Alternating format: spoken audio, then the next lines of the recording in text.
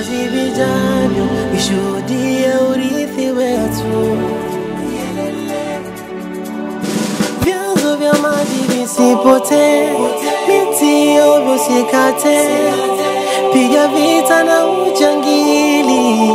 Amka wewe, mbuga za wanyama tulinde, uvuvi haramu tupinge, kutumia mabomu na sumu.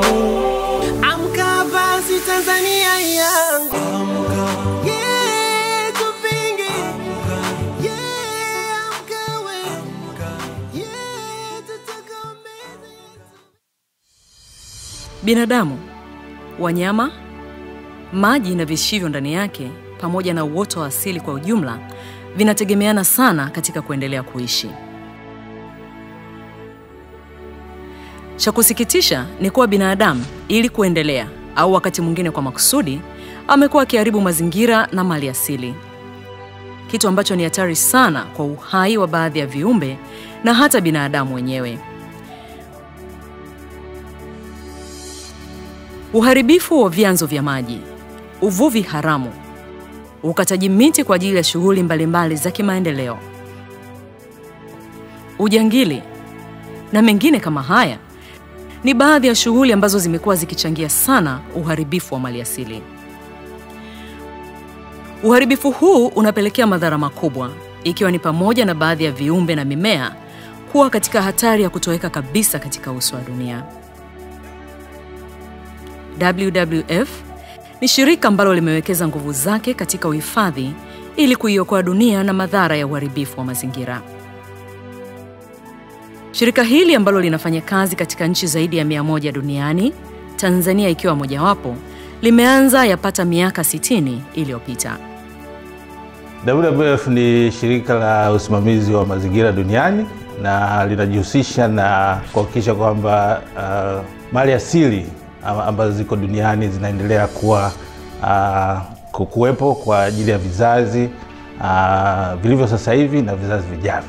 Shirika letu linajihusisha na uhifadhi wa maliasili mbalimbali katika nchi yetu e, hasa wanyamapori e, maliasili ya misitu, samaki, e, maji, lakini pia linajishughulisha na upatikanaji wa nishati e, mbadala. Tanzania office of WBIF was one of the first offices that we established in Africa. Udzungwa, for example, was created basically by WWF. Tarangire was supported heavily.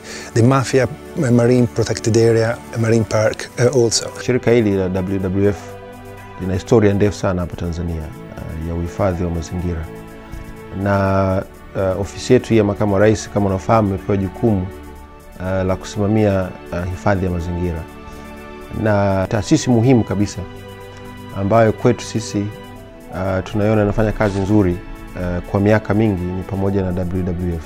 Tuna, tunafanya kazi sana na wenzetu wa uh, maliasili WWF, tunaingia moja kwa moja na kushirikiana nao katika utekelezaji Mmoja wa wanyama ambao WWF Tanzania wamekuwa wakifanya juhudi za kumlinda kwa sababu yuko katika hatari ya kutoweka hapa nchini ni tembo. Takwimu ya tembo katika miaka ya sabini ilikuwa yapata laki moja na elfu kumi lakini sensa ya tembo ya mwaka 2014 kwenye hifadhi ya selu ilionyesha tembo wapatao elfu kumi na tano tu.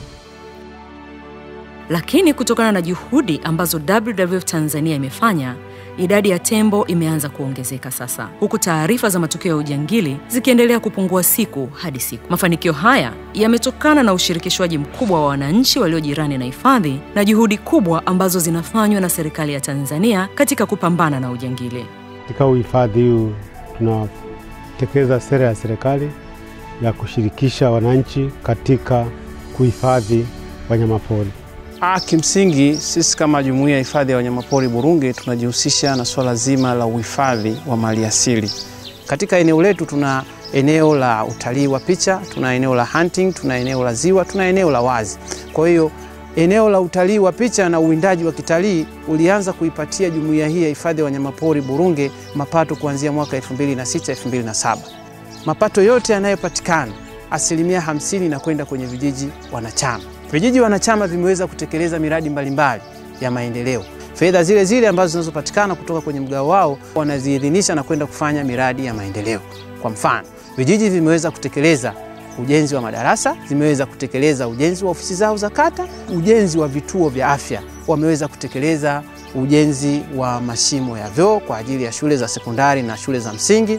Shughuli za hifadhi ni kwamba wananchi ambao e, wanapakana na maeneo ya hifadhi wanafaidika kutokana na wanyamapori waliomo katika maeneo hayo.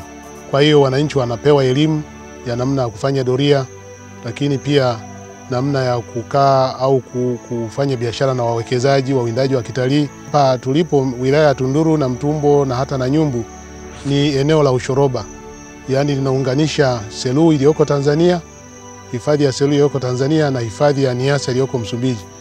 Well, we came here in Tanzania, particularly to the Selous Reserve, Game Reserve, to um, um, support the very strong new uh, efforts uh, of the government and the authorities to really achieve zero poaching of elephants and rhinos in the reserves. Uh, uh, and, and WWF is uh, participating to this trip with my presence representing the global network, but also representatives from the German WWF office, uh, which have been very engaged in conserving the Selous for many years. Lengo la, la hiyo safari ilikuwa ni ku- kuzindua hiyo kampeni, lakini pia kujaribu kusaidia serikali katika juhudi zake za ku, ku, kupigana na ujangili, kuisaidia kwa kukabidhi ndege ambazo hazina rubani zinaitwa drones, na hizo ndege zilikabidhiwa kwa waziri Profesa Jumanne Magembe. Vifaa ambavyo tumekabidhiwa leo ni kama kamera za angani, vinapiga picha kuonyesha shughuli ambazo zinafanyika katika maeneo mbalimbali ya hifadhi. Ndege hizi zinaweza kutumwa katika maeneo mbalimbali ya hifadhi ili kujua kama kuna binadamu au watu wengine ambao wameingia ndani ya hifadhi kufanya shughuli ambayo hairuhusiwi. Kwa hiyo mnaweza kwenda mara moja na, ku, na kuwazidi nguvu wale majangili, hasa kuwazuia kabla hawajaua. Pia WWF katika kusaidia wananchi kuhakikisha kwamba wanaishi vizuri na uwiano na wanyamapori, tunasaidia katika kushughulikia mambo kinaitwa human wildlife conflict, yaani matatizo yanatokana na na wanyamapori au, si- au tembo au mnyama yote wa hatari asiingie kwenye mashamba ya wananchi au asiingie kwenye nyumba za wananchi. Mwaka elfu mbili na tisa tulipata fedha kutoka WWF kwa ajili ya kuwajengea uwezo wanavijiji ambao wanaishi kando kando ya hifadhi. Kutokana na yale mafunzo, wananchi wamekuwa na nafasi sasa ya kusimamia maliasili zao. Kabla ya mradi, tembo watatu waliuawa na wananchi baada ya kuwa wameingia kwenye maeneo yao, lakini vile vile tembo walivyokuwa wanaingia kwenye wananchi walikuwa na, wanaharibu mazao. Baada ya kufunga waya imeonekana kwamba matukio ya tembo yamepungua kutoka wastani ya matukio saba kwa msimu mmoja kwenye shamba moja mpaka matukio mawili. Vile vile utafiti umeonyesha kwamba makundi ya tembo yamepungua kutoka wastani wa makundi kumi na nne ya idadi ya tembo waliokuwa wanaingia kwenye mashamba mpaka makundi ya, ya tembo watatu watatu. Kwa hiyo yamepungua kwa asilimia kama 81. Misitu ya Tanzania imekuwa hifadhi ya viumbe na mimea adimu kabisa duniani ambayo inapatikana hapa nchini pekee. Shughuli za binadamu za kilimo na za maendeleo kwa kiasi kikubwa zimekuwa zikiharibu makazi haya. Programu ya misitu ya WWF Tanzania imejikita katika kushughulikia changamoto hii. Programu ya misitu ilianzishwa mwaka 1994 na ilikuwa ni programu ya kwanza kabisa kuanzishwa. Uh, Mtizamo umekuwa ni ku, uh, kushughulikia zaidi masuala ambayo yanaharibu ama kuondosha misitu. Uh, na masuala hayo pamoja na usimamizi wa misitu um, na hapa tunashirikiana sana na wadau uh, na pamoja na taasisi zingine ambazo zinajihusisha na misitu nashirikiana na WWF kwenye mambo ya hifadhi. WWF wametufunza kuusimamia msitu wetu wa kijiji kwa ukamilifu kabisa ili kudhibiti ma, majangili wa aina mbalimbali ambao walikuwa wanaharibu miti kinyume cha utaratibu. Tuwa, tumeanza, tulianza kuvuna awamu ya kwanza, tulipata milioni tisa ya kijiji. Imetusa, inatusaidia kwenye shughuli za maendeleo ya aina mbalimbali kwenye kijiji chetu. Hapo mwanzoni sisi tulikuwa hatuna elimu hii, lakini tulivyopewa ile elimu Kwa kweli tukaipokea, tumeifanyia kazi na kwa sasa ina maana tunakuwa na hamu ya kuutunza kwa hali ya juu, kwa sababu tayari tumeshaanza kunufaika. Mafunzo waliopata wanavijiji kuhusu misitu yao, kwanza ni kujua ukubwa wa misitu yao, lakini pili, namna ya kujua rasilimali za misitu zilizomo ndani ya misitu yao, lakini tatu, wamefundishwa namna ya kuvuna hiyo misitu bila kuiharibu, lakini nne, pia wamefundishwa faida za kimaumbile za hiyo misitu, kwa mfano kwamba inasaidia kuleta mvua na kadhalika. Hapa ni shule ya sekondari Lohololo. Huu e, mradi tuliuleta hapa kwa maana e, sehemu ya kwanza ni uhifadhi wa mazingira. Kama unapoona eneo hili liko wazi, kwa tukaona tuweke umradi hapa ambao utakuwa unapaliliwa, na faida za kwanza ni kuweza kuzuia upepo kuweza kuwezoa majengo yetu hayo, na faida zingine za pili, hili ni tunda. E, ni lishe vile vile. Kwanza tunatengeneza clubs kwenye mashule mbalimbali ambayo yako kwenye maeneo ya, ya, ya, ya, ya, ya, ya sehemu ambazo tunafanya kazi, na kwenye yale maeneo wale vijana tunaowafundisha ku, kuweka vitalu inakuwa kama pia ni shughuli yao ya kiuchumi, lakini pia binti kwa, kwa, kwa, kwa, kwa, kwa, kwa wanajamii ina, ina, ina, ina, ina, ina, ina, ina mafanikio mengi. Maeneo ya Same muda, muda, muda, muda uliopita kulikuwa sio kama sio jinsi ilivyo sasa hivi. Ilikuwa ni vigumu sana hata kupata mti wa kivuli mahali popote pale, lakini kwa jinsi inavyoonekana sasa hivi watu wengi wameweza kuhamasika na kupanda miti. Kwa hivyo kwa hali fulani, kwa kweli sawa imekuwa ni sehemu ambayo ni nzuri, ni mahali pazuri pa kuishi. Nchini Tanzania, misitu huharibiwa kutokana na uhitaji hasa wa nishati kwa ajili ya matumizi ya nyumbani kama mkaa na kuni. Kwa hiyo ili misitu ilindwe na isikatwe, ni budi kukawa na njia mbadala ya kupata nishati. WWF Tanzania ilianzisha mradi wa nishati kwa lengo la kuwasaidia wananchi kuingia katika matumizi ya nishati jadidifu na kuacha matumizi ya mkaa na kuni. Chini ya renewable energy au nishati jadidifu tunahusika na asasi za kijamii zipatazo kumi na nne na kati ya hizo kumi na nne tumeanzisha vijiji vya mfano viwili katika wilaya ya Same na wilaya ya Iringa. Aa, na lengo kubwa la kuanzisha hivyo vijiji vya mfano ni kujaribu kuonyesha ni jinsi gani nishati jadidifu inaweza kubadilisha maisha ya watu hasa katika sekta ya kilimo, e, katika maisha ya kawaida kwenye masuala ya elimu pamoja na afya na vile vile kuangalia ni jinsi gani itaongeza pia kipato hasa kwa wajasiriamali. tunaweza kuona jinsi ambavyo familia na wajasiriamali wameweza kunufaika na majiko banifu, lakini pia sola kwa ajili ya majumbani ambazo zimekuwa ni kivutio kwa wengi. Nakaa kijiji cha mabilioni. Mwanzo tulikuwa tunatumia kibatari kusomea, na sasa hivi tulivyopata sola imeturahisishia. Sasa hivi tunasoma kwa muda mrefu. Kibatari labda walikuwa unasoma masaa manne, lakini tulivyopata sola unaweza ukaa hata masaa sita kusoma. Umeme wa sola umetusaidia sana, unakuta hata kuchaji simu mara kwa mara, ule usumbufu wa kusema mpaka nipeleke sehemu yenye umeme, ule usumbufu sasa hivi hakuna. Mara ya kwanza nilikuwa natumia jiko la mafiga matatu, lakini nilikuwa linatumia kuni nyingi. Hili jiko ni rahisi kwa sababu linatumia kuni chache, alafu moto unakaa kwa muda mrefu. hamasisha matumizi ya nishati mbadala. Uh, kama unafahamu uh, sehemu kubwa ya Watanzania wanatumia nishati ya miti ambayo inapelekea kukat, kukatwa misitu uh, lakini kwa kutumia teknolojia aidha ya kupitia majiko au nyingineyo uh, wamehamasisha sana sana matumizi ya teknolojia uh, ya kupikia mbadala. Katika juhudi za kuongeza kasi ya maendeleo, WWF imefanikiwa kuhamasisha na kuwezesha matumizi ya nishati ya jua. Pampu hii ya maji inayoendeshwa kwa kutumia nguvu ya jua imeweza kutatua tatizo kubwa la maji katika shughuli za kilimo kijijini Mabilioni. Kupitia mradi huu tunaweza tukafaidika kwa sababu hautumii petroli wala dizeli, unatumia sola. Tuseme maisha kabla ya sola kwa kweli ilikuwa ni tatizo, kwa sababu hasa katika huduma za, za uzazi au kama akitokea wagonjwa na majeraha wanakuwa wameumia, ilibidi tutumie taa hii ya kawaida ya chendi. Kabla tulikuwa na taa hii ambayo tulikuwa tunaitumia wakati wa usiku, lakini ilikuwa haina mwangaza wa kutosha. Alafu wakati mwingine changamoto ilikuwa kwenye mafuta taa na ilikuwa nasumbua, lakini sasa hatuhitaji mafuta ya taa tena. na sehemu hizi zote ni katika kujibu swala zima la uhifadhi wa mazingira, kwa sababu ukitumia nishati mbadala unazuia unazuia au unapunguza matumizi ya kuni, lakini matumizi ya, ya, ya, ya mafuta ya taa.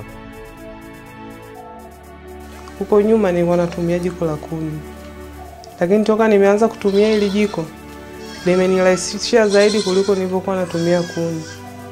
Kwa hili naweza nikapika dakika kumi na tano au ishirini nikawa nimeshapika mboga ugali nimemaliza. Yaani nakusanya tu mbolea naikoroga kwenye maji ujazo wa plastiki moja afu naweka humu. Nikishaweka humu inaenda huko ndo inafua gesi.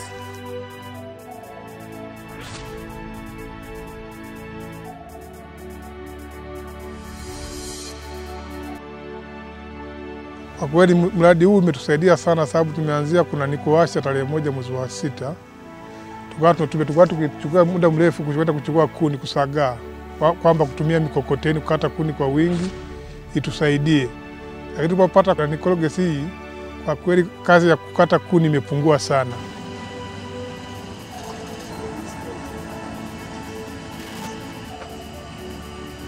Mbolea hii ndio tunaitumia kwa ajili ya kunani, kwa ajili ya kuendeshea mtambo huo kutokana na kinyesi ya, ya ng'ombe.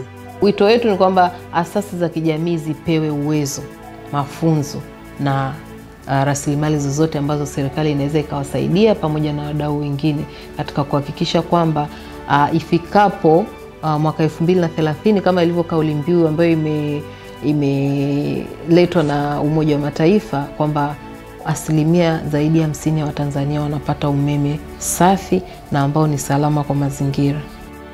Maji ni uhai, na ili tuendelee kupata maji safi na salama, ni budi kuhakikisha kuwa vyanzo vya maji vinatunzwa ili visiharibike. WWF inafanya kazi katika mikoa ya Iringa na Mara katika kulinda vyanzo vya maji katika mto ruhaha na mto Mara.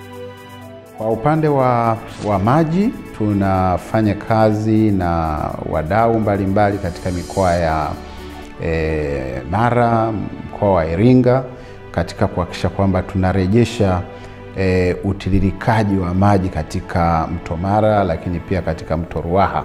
Shughuli zetu za kila siku, kazi yetu ni kuelimisha wananchi kuhusu umuhimu wa utunzaji wa rasilimali za maji. Tunaelimisha namna bora ya kupanda miti rafiki na maji kwenye vyanzo. Lengo ni kurejesha mtiririko wa maji. Kama tunavyofahamu, mtiririko wa maji katika mto Ruaha umepungua, unakauka kwa vipindi fulani, kiasi kipindi cha kiangazi, na kusababisha wanyama kuhangaika na kufa maeneo ya National Park na pia kusababisha bwawa la mto Mtera kupungua, kupungua kiwango chake na kushindwa kabisa kuzalisha umeme na kuleta matatizo katika nchi. Hivyo kwa kushirikiana na wananchi, hasa jumuiya za watumia maji, hao ndio wahusika wakubwa ambao tunawatumia katika hizi shughuli zetu za kila siku.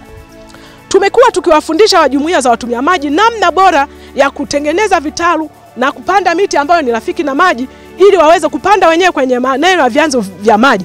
Ndani ya vijiji ishirini tumefanikiwa kuvitambua vyanzo vya maji 428. Kati ya hivyo 428 tumefanikiwa kuvi, kuvipima na kupanda miti rafiki na maji vyanzo 232. Huu mti unaoona ni mti wa mvengi ambao tayari umeshakuwa. Kama unavyoona umepandwa kando kando ya, ya huu mto, kazi yake ni kusaidia kuleta maji, na kama unavyoona maji yanavyotiririka hivi, basi mti ndo rafiki na maji. Jaa tunachota kwa ajili ya kupikia, kufulia, kuoga, kunywa.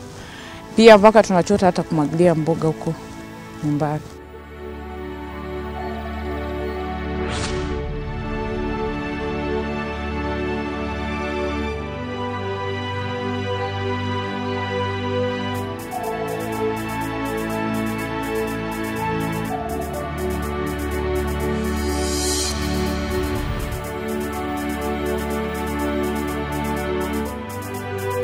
Mazingira yalikuwa sio rafiki kabisa, lakini baada ya kupata msaada kutoka WWF wa kutupeleka katika mafunzo, walimu pamoja na wanafunzi, tulikuwa na shida ya maji, wakatusaidia kutupa ma tank kama mnavyoyaona pale, lakini pia wakatufungia gutters kwa ajili ya kuvuna maji. Hapa Mwenge maji yanatusaidia katika kwanza kustawisha mimea, lakini pia maji haya yanatusaidia kwa sababu yanatumika chooni, kwa sababu ukiwa hakuna maji kuna vioni kule panakuwa pachafu, mazingira ya vioni yanakuwa machafu. Bila maji mazingira yanakuwa machafu. Kwa hiyo kukuwa na maji, maji yanasaidia kusafisha vile vyoo. Sisi ni wana mazingira katika mazi, usafi wa mazingira na uopoaji wa gugu maji katika ziwa letu la Victoria. Gugu maji hili tuliamua kulitoa kwa sababu moja kubwa, ni, ni tatizo ambalo linaharibu mazalia ya samaki.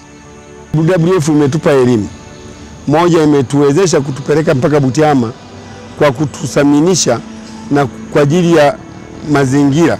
WWF inawezesha asasi na vikundi vya kijamii kufanya shughuli za ufugaji wa nyuki, kilimo cha samaki na ufugaji wa kuku. Shughuli hizi zinasaidia moja kwa moja kuinua kipato cha wanajamii na kupelekea jamii kuto kutumia rasilimali za mtomara kupita kiasi, shughuli ambazo mara nyingi huchangia kwenye uharibifu wa mazingira. Na WWF ilitupa mizinga. Baada ya kutupa mizinga, wakatupa na mafunzo. Kwanza walitupeleka Ushirombo kwenye mafunzo, tumejifunza kule kutoka kwa WWF, ndio waliotupa mafunzo hayo. Nasi kilivyofika muda tukaingia mlimani kuvuna, ndio tumevuna mwaka jana na miaka ya nyuma iliyopita. Tuna vijiji ambavyo vimeonekana vina vimechafua sana mto, mto Mara kutokana na shughuli za, za uchimbaji madini, kwani wanatumia mercury, mercury ambayo mvua ikinyesha inatiririka moja kwa moja hadi kwenye mto Mara. wanasugua kwa mkono kwa kutafuta dhahabu, na mercury ina dhuru, ina adhiri, ni sumu. Angalia haya maji yanatoka hapa mpaka mto Mara. Kule mto Mara tunanywesha mifugo, angalia mifugo ndio hiyo inanywesha, inakunywa hapa hapa. Katika jitihada zake, WWF imetembelea kijiji cha Mrito, imefanya uhamasishaji. Serikali ambayo tumeweza kuishawishi hadi imechagua eneo maalum kwa ajili ya watu hawa kuhamishwa. Programu nyingine inayotekelezwa na shirika la WWF Tanzania ni ile ya uhifadhi wa mazingira ya bahari na rasilimali zake.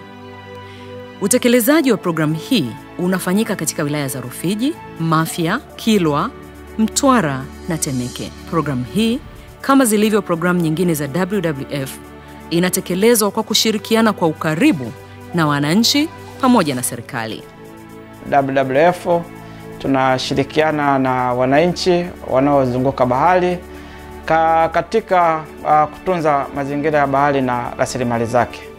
Hapa tunamaanisha uvuvi, tunamaanisha samaki waliomo pale, uh, tunamaanisha matumbawe, tunamaanisha pia majani bahari na hata mikoko.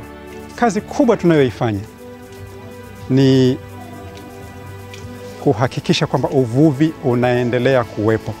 Leo na kesho na siku nyingine, na ili kuhakikisha hilo, inabidi tufanye kazi na wanajamii katika maeneo tofauti ya vijiji vya pwani kuanzia Temeke, Mafia, Rufiji, Kilwa na Mtwara.